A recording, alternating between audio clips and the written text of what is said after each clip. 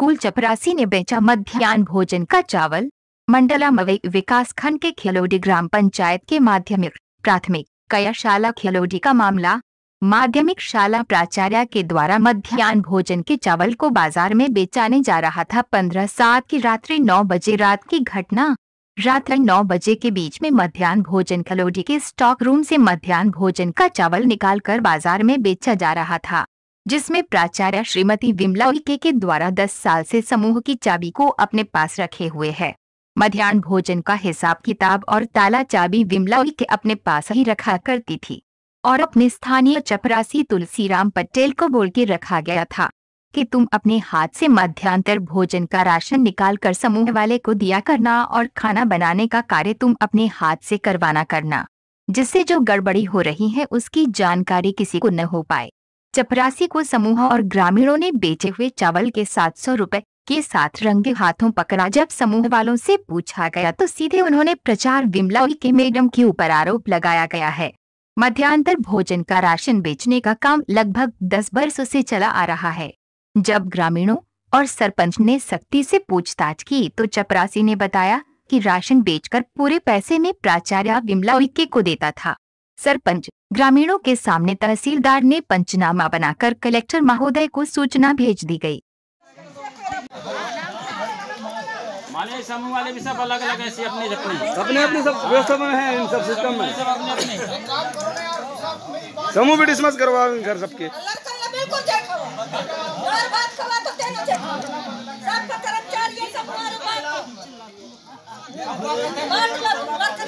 काहे नहीं चिल्लाए गलती करें चिल्लाएँगे ज़ोर का। गाँव वाले बच्चे पढ़ रहे हैं उनके यहाँ काहे के लिए चिल्लाएँगे। गुरु जी क्या बता रहे हैं सुन लो।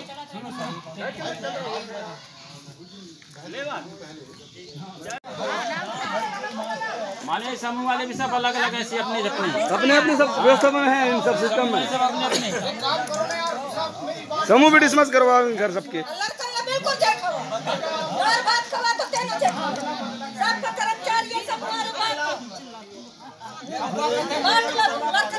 काहे नहीं चिल्लाए गलती करें। तो चिल्लाएँगे ज़ोर का? गाँव वाले बच्चे पढ़ रहे हैं उनके यहाँ। काहे के लिए चिल्लाएँगे? गुरु जी क्या बता रहे हैं सुन लो।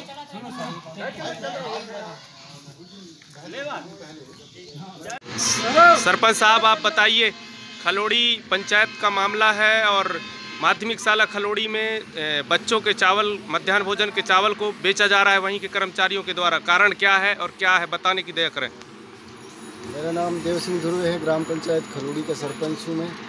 ये एच एम वीके मैडम मिडिल स्कूल के वो अपने अतिथि शिक्षक छात्रावास की चौकीदार अ, मटिया बाई इनके द्वारा एक चपरासी तुलसी तुलसी पटेल इनके द्वारा चावल रात के आठ नौ बजे बेचा जा रहा है। इन, इनको हमारे ग्राम के लोग पकड़े और हमें लिखित शिकायत ये कि आप अगर इसकी कड़ी से कड़ी यदि कार्रवाई नहीं करते तो आपके ऊपर हम ये करेंगे और आगे हम कलेक्टर तक जाएँगे करके ये बोले।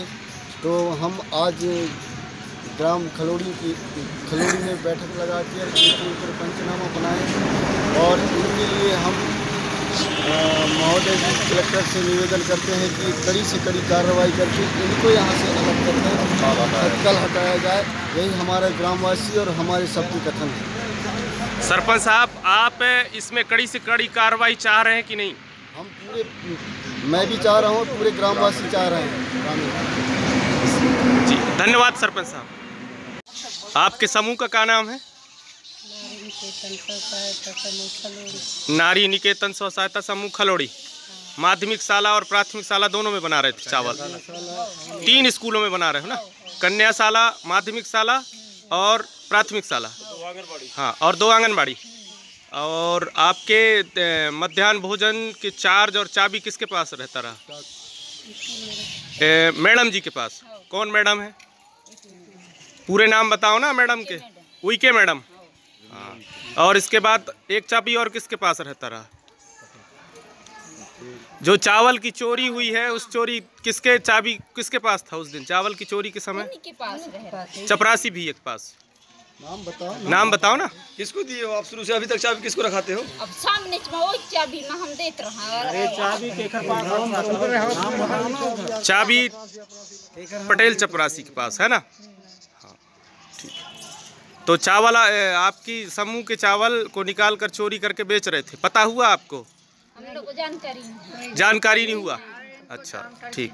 दूसरे लोगों को जानकारी हुआ है। ठीक है। और अभी सब लोग गाँव वाले पंचनामा बनाए हैं उसको तो देखे ना। तुम्हारे सामने में पता चला कि चावल बेच के बेच रहे थे चोरी करके। समझ में आया और चाबी कितना दिन से रखे हैं? पंद्रह साल से चाबी रखे हुए पंद्रह साल से चाबी रखे ठीक।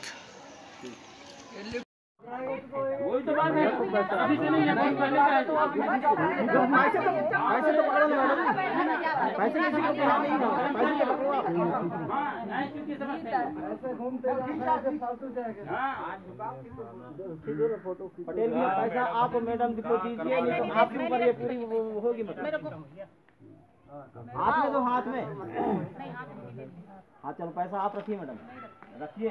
आप बोल रहे हैं पैसा दीजिए तब वो पैसा आपके पास आया। है। पैसा आप बोल अरे तो लग जाए अरे तो ऐसे कहाँ आए में आए ये तो बताओ पहले। ये तो बताओ पहले। रखना पड़ेगा पैसे को। रखना पड़ेगा। सबको। कहाँ जाते अभी जब सामने में तो पैसे तक नहीं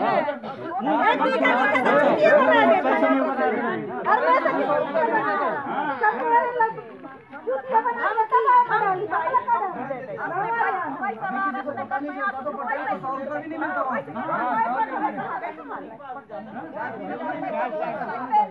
मालूम पड़ रहा था